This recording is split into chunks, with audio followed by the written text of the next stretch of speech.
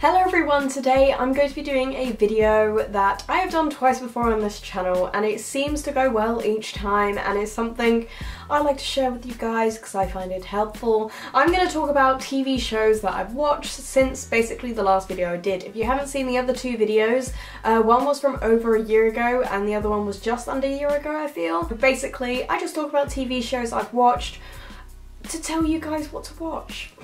I watch a lot of TV, so this is right up my street and I can talk about this stuff for ages. So the first video had 20 in, the second video had 20 in, and this one I believe has about 27. So you know, I've watched a lot more.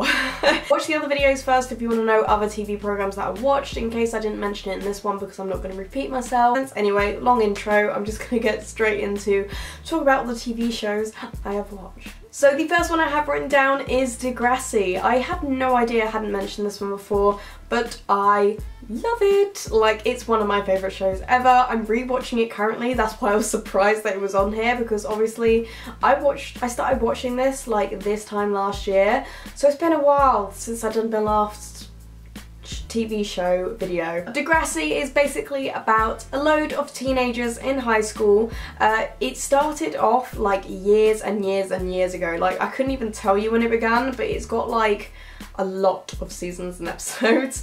But the ones I've been watching is Next Generation and the one on Netflix. The one that is not on Netflix is definitely my favourite. It has like some of my favourite characters, Eli Goldsworthy, who I fancy the absolute pants off of, which is the main reason why I watch it so much. It's just full of teenage dramas such as pregnancies, depression, eating disorders, uh, bullying, it covers like every single transgender, gay, bi, like everything. It covers like everything. Um, I just think it's an amazing program. It's been running for so, so long and I can see why personally. I mean like this stuff I absolutely love. If you watch my other two videos you know I love this kind of stuff.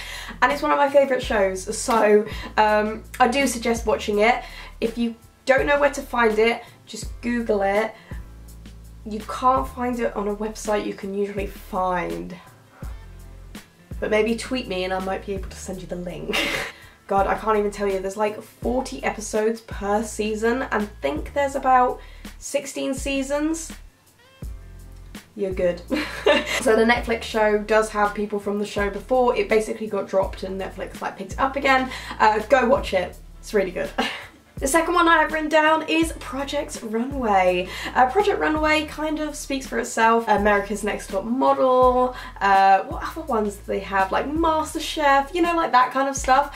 But it's to do with fashion design, so they have little tasks every day to make a, a piece of clothing to do with the theme elements or something like that it's just that basically and I really really enjoyed it. I love that kind of stuff every now and then. I can only watch a few seasons otherwise it does get a little bit repetitive and boring but I really did enjoy it as I was watching it. I think I watched about three seasons before I got a little bit bored because it was so repetitive, but there is lots of seasons and I believe it's on Netflix. So yeah, if you like that kind of stuff, I definitely suggest it. It's really fun to see how much like style has changed over the years as well. Uh, but yeah. The next one I have is 13 Reasons Why, which I'm sure you've all heard about. It was like a huge thing, a huge thing when it first came out and Personally, personally, I know a lot of people didn't like it. I really, really liked it. Um, 13 Reasons Why, if you don't know what it is, it's about a girl who has committed suicide and she's left tapes for Clay, I think his name is. Uh, I can't remember, it's been so long. Uh, but left tapes for him about 13 reasons why she did it and it's all addressed to different people. Obviously, I don't agree with the fact of blaming someone else and making them feel bad. Like, I don't agree with that. But I liked the fact that they didn't sugarcoat some really dark scenes. It can be very, very triggering. So if you don't like, uh, if you get triggered by, obviously, suicide, uh, self-harm, uh, sexual abuse, then obviously do not watch it. Like, please, please, please don't watch it. But for me, I just liked the fact it was so raw and they didn't hide anything and they just showed the ugliness of it instead of making it look all like, Ah. I did personally enjoy it. I watched it within a day. I really, really got into it. And I read part of the book. I'm not a book reader, so uh, I kind of forgotten about it a little bit. But I did really like it personal opinion. The next one I have is You, Me, Her, which is another Netflix series. Netflix have been coming out with those series this year and I've been loving it. So You, Me, Her is about a married couple who come across a S escort, I think she is. I can't quite remember. She's like one of those type of things. and uh, basically they both fall in love with her and it becomes like a three-way thing. It's just, it's funny, it's interesting, and I just really liked it. However, there is a second season and I didn't want to watch the second season. Uh, the first season I enjoyed, but I saw the second season and I was like, you know what, I'm alright with not watching the second season. So I actually haven't watched the second one, but the first one I did really enjoy and I thought it was quite a bit of a different thing and it was a little bit fun. Then we have Friends with Better Lives, which kind of goes along that same kind of route of the style that the other one was. But this one got cancelled after one season. But you know what? I'm fine with it. because it was enough for me, really. It was just about a group of friends. A bit like How I Met Your Mother, but without the like really long series. That's how I describe it in my mind. It's a little bit more updated if that is the right thing to say. I just think it's a little bit updated from How I Met Your Mother. So it's just a group of friends who date different people or each other or I don't know. It was it was fun. It was nice to watch. But you know what? I'm not mad that it finished on one season. I then have Full House. Right, you know what? I loved this show so much. I know it's an oldie, but it's a goodie. I've never watched it before and I know Fuller House is on Netflix so I started watching the first episode and I was like what is happening? I don't understand any of this because obviously it was a follow-up to Full House. So basically Full House is about uh, like four guys or three guys. As you can see my memory's not that good. About like grown men looking after these three girls four, three girls, yep, I forgot the uh, Olsen twins were not actually twins in it, they were the same person. You know what, this show made me like kids. I'm not a kid person, but I fell in love with them. Like, they were the cutest things, they were amazing at what they were doing, and I just absolutely loved it. I was obsessed with it. I just wanted to watch it the whole time, and when it finished, I was so upset because I was just so, so into it.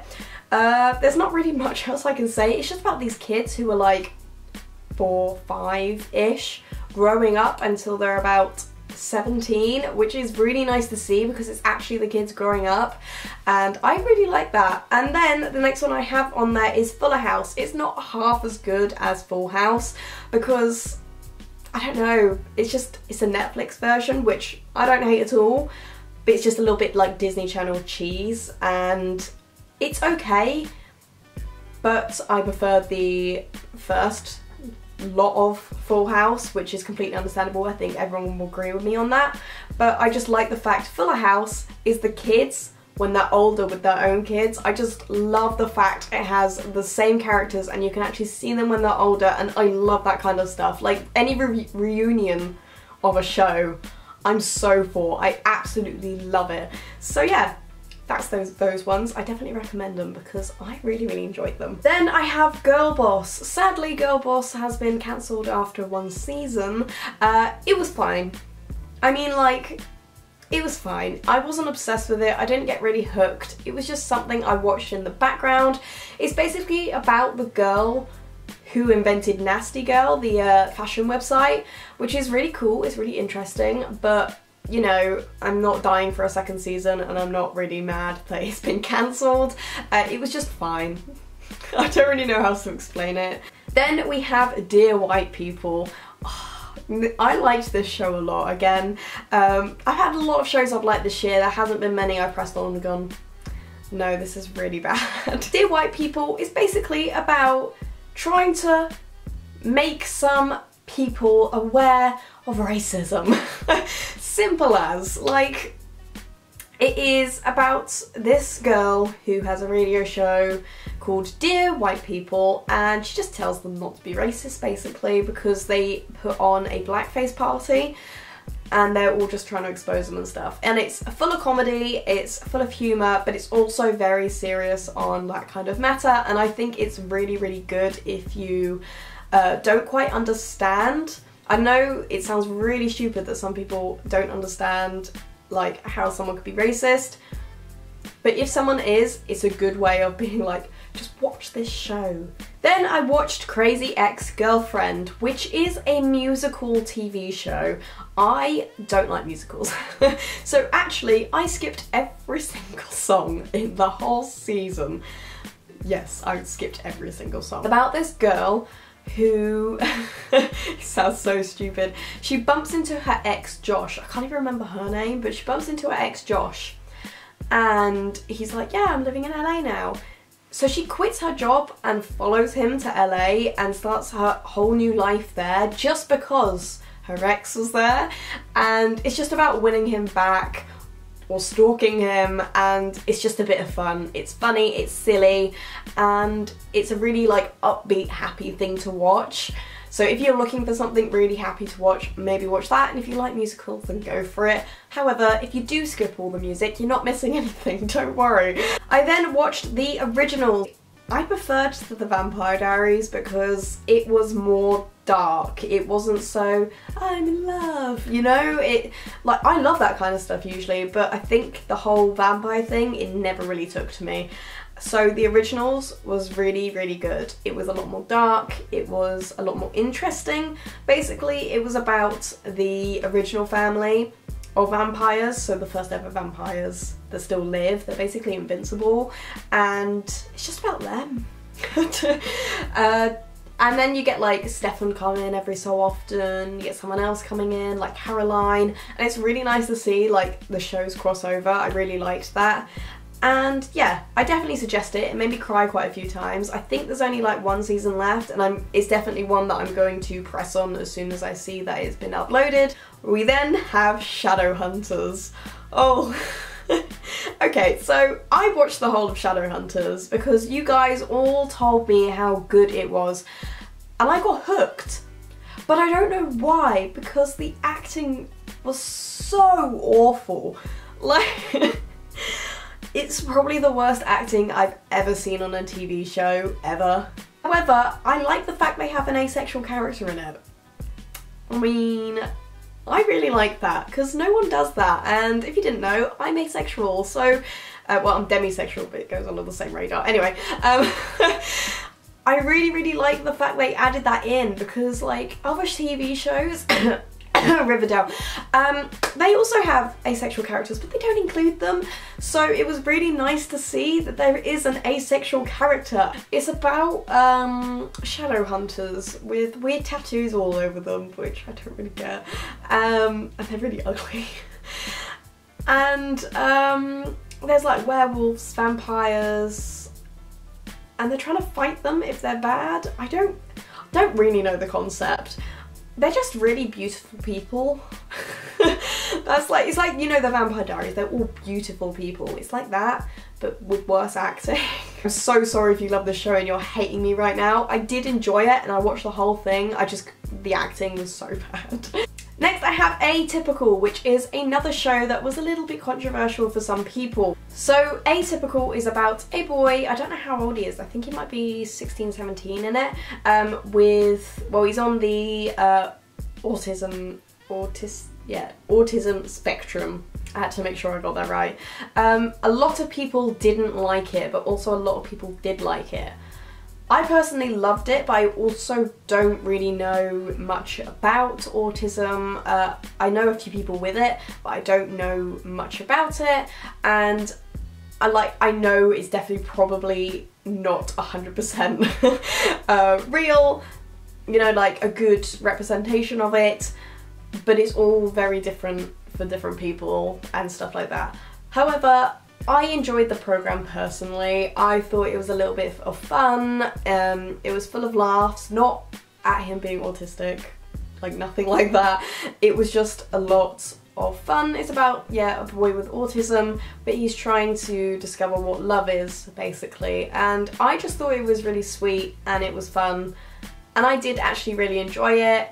I know that might be controversial to other people, but I did enjoy it. And if you want something feel good, then maybe give it a watch. If you're not comfortable with it, then don't watch it. But uh, yeah, I quite liked it, but I definitely know not to think everyone with autism is like that, if that makes sense. Now the next show I have is The Mist, which honestly I forgot I watched until I looked at this list. And basically The Mist is another Netflix show, you know, yay, more Netflix shows. I think this all is basically Netflix shows, I've watched a lot. Uh, the Mist is about the mist that like take over, takes over like part of America or the whole world, I'm not really sure, it just shows you like one part. And it's just following lots of different characters throughout this mist, which basically is it's based on a Stephen King novel, which obviously if you watch it and stuff, it's kind of on that kind of lines of stuff, but I don't personally think it was very scary. Uh, I don't think it goes under the that category, but it was a little bit gruesome. Uh, it's just like people's fears are in this mist and it kind of like attacks them and takes them. I don't really know what it's about or how it ended. How did it end? I don't really know what else to say it was just fine. then we have American Vandal, which sounds really like edgy, but actually it's just, it's so funny. It's the most stupid thing you will ever watch, like ever. It is a Netflix series, but it's about this boy who's been expelled from school for drawing um, dicks onto all the car park, all the cars in the car park.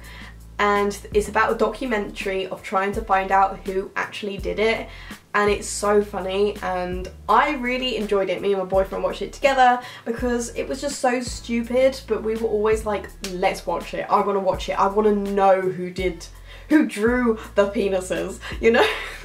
it sounds so stupid, but it was like done as if it was an actual crime show, like a crime documentary, but about someone drawing penises on cars, and I just thought it was the best thing. It was such a good idea, and I fully enjoyed it. So if you want something really funny and stupid to watch, that is definitely 100% the thing I would recommend to someone because it's so, like, it draws you in, but for such a weird and stupid reason. but yeah, watch that, it's funny. Next one I have is Greenhouse Academy. This is the cheesiest one of them all on this list of the one I have today. if you know on my first one I said the word cheesy a lot. Sorry, still get comments about that. Disney Channel style, so you know, it's very cheesy, very childish, but I really liked it in a weird way. Like, I, I didn't like it, but I also liked it at the same time. It's about these two kids who, are, who go to this weird school full of like science and stuff, but they don't do like proper lessons. And I they just like in teams and they fight against each other. I don't really know how to explain it, but I'm definitely not selling it to you.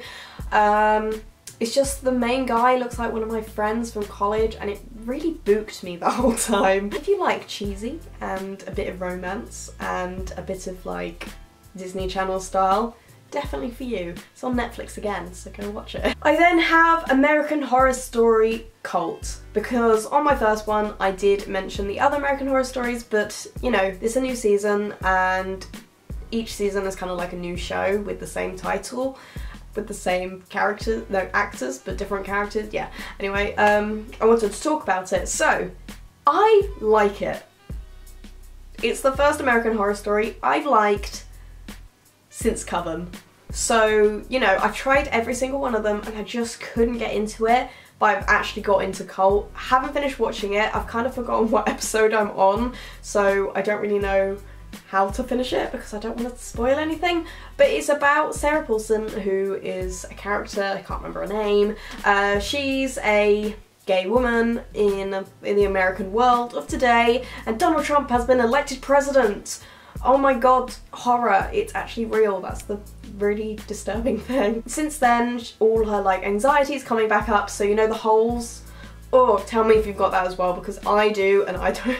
It made me feel really uncomfortable every so often. It would come on the screen. I'd be like, no, no, go away. It's in my head now. I can see it in my head. Also, clowns. So it's about a load of killer clowns and I've really gotten into it. There's actually a storyline this time which they've been lacking a little bit of in the last series, I felt. Um, so I really enjoyed it, and Evan Peters has a bigger role, even though he's a Trump supporter and everything in it. I like the fact he has a bigger role because he deserves it, in my opinion again. But yeah, I would definitely give it a go if you liked the first, I, mm, not the first season, maybe like the second season and the third one. If you liked those, I'd probably give it a shot. So next I have The Good Place, which I urge you all to go watch. Uh, me and Joey, again, have been watching it, and the second season, or is it the third one? I can't remember. Uh, there's a new season coming out every single week on Netflix. I think it's another Netflix series, which is amazing. Um, and we've been watching it and it's amazing. It's about uh, Eleanor, who is Kristen Bell, who is amazing. Uh, she goes, she dies basically, and she goes to the good place and she meets uh, Michael who designed the whole place and Chidi and it's just so silly and fun and it's so light-hearted and bright and it's really really good to watch. If you want something happy, watch it. It's amazing. Everyone is so good in it and it's just such a stupid program. Like the concept of it and everything. I don't you'll understand once you watch it. But yeah, I definitely urge you to go watch that one. I really do enjoy it. And me and Joey, anytime that a new episode comes out, we're like, let's watch it because it's really, really good. So I think this season though, if you're watching it as well, you'll probably get it. It feels like they've kind of gone we didn't have another idea for this, so we're just gonna have to like try and do something with it. That's how I feel that it's gone, but it's still fun and light-hearted to watch, so have Connage. Next, I have Big Mouth. If you've watched this, again, it's another Netflix show. Um, it's about a cartoon. Cartoons, oh my god, they terrify me. I can't watch cartoons. However, for some reason, I watched this. Big Mouth is about two guys who are hitting puberty and they're basically discovering themselves and all things around that matter. So yes, it gets very dirty. It's about like the hormone monster and mistress and bubble baths and all. it's so silly, but I really suggest you go watch it if you want something like that, like a Rick and Morty type thing. If you like Rick and Morty, I think you might like this as well. It's just very, very dirty, like really dirty. Uh, so yeah, that's that. we are coming towards the end of our list now, we've only got a few left. But we have That 70s Show. I'm probably the last person on the earth to watch it.